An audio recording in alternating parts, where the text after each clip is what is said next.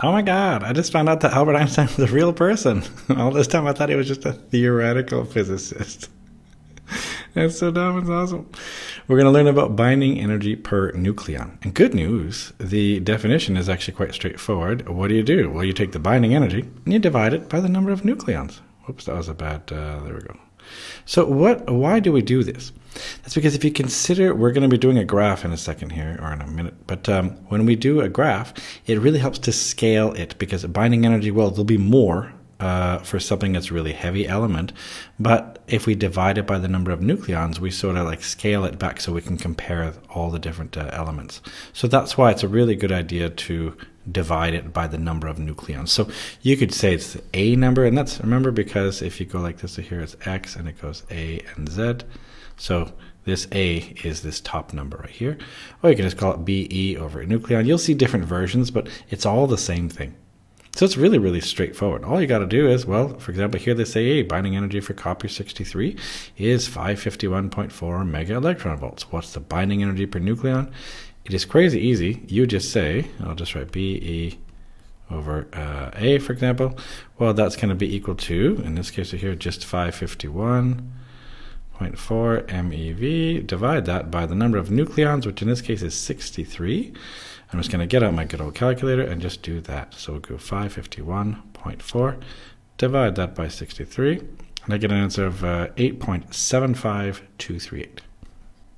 So I'm allowed four significant figures, so that means I'll write this answer then also to four significant figures. So that means I'll say it's, uh, let's see, I'll do 8, that's still there, and then I'll say 7, 5, and this 2 will stay there. So it'll be just 7, 5, 2. And of course, that's in mega electron volts, and I'm done. So the most important thing we do with this is to plot this curve, binding energy per nucleon curve. And so we're going to say binding energy per nucleon, sure, and this is the nucleon number. So that means, for example, helium, uh, hydrogen, sorry, will be uh, 1, well, at least the A number here, the nucleon number would be 1. Helium, well, if it's an alpha particle, at least it'd be 4, and so on. So the binding energy per nucleon actually goes something like this right here. So you need to be able to draw something like that. Now, in real life, it actually has spikes. It's got a few different things. It deviates a little bit, but for the most part, it does this. So I think it's okay like this. You have to know that the peak right here, this top number right here, the highest number, it helps to know this is iron. Uh, this is 26, this is 56. There's some argument over which element should be, but iron is a good one. So that's Fe. We say it's iron. Now, uh, how do you remember the shape of this curve? This might be really, really dumb, but the way I do it, or the way I used to think of it, is I would imagine it's like a big, you know, like a big whale, for example. it's like, I know it's really dumb, but there we go. So the whale kind of helps me at least. So there we go. So the key thing here is that reactions are going to occur naturally so they're going to happen, you know, in nature, for example, only if you're going up in the curve. At least that's how they'll happen easily. Whoops, I don't know what happened here.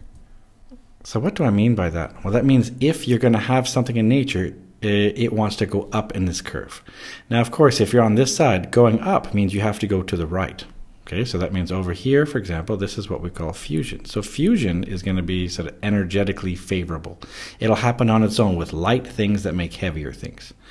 And same way, uh, if you're going up here, for example, well, then it's going to go left. So in this sense right here, over here, we'll say fission is energetically favorable. That's when you go left, for example. So I said fusion on the left side, fission on the right side. But this this piece right here is super important. It explains a lot actually about stars. So that's why I thought, well, let's look at this. What do stars do? Stars undergo nuclear fusion. Oh, that means they're on the left side here. And they're doing a lot of things, but one of the things they're doing in their core is converting hydrogen to helium, for example. But they're also, uh, when they're done with that, uh, we're going to learn about that in another video I'm making. Uh, helium, for example, can also go to other things, and it can go to like carbon and nitrogen and oxygen and all these different things. So it's converting stuff in the core. Here's the interesting part. I think this is really cool is that a star, it depends on its mass, of course. Like our star doesn't have enough mass, so it probably won't be that exciting for this, but our own star won't really get that heavy. It won't be able to have enough mass to have the gravity so that you can, um, so that you can actually fuse heavy elements. So our star won't even get to iron.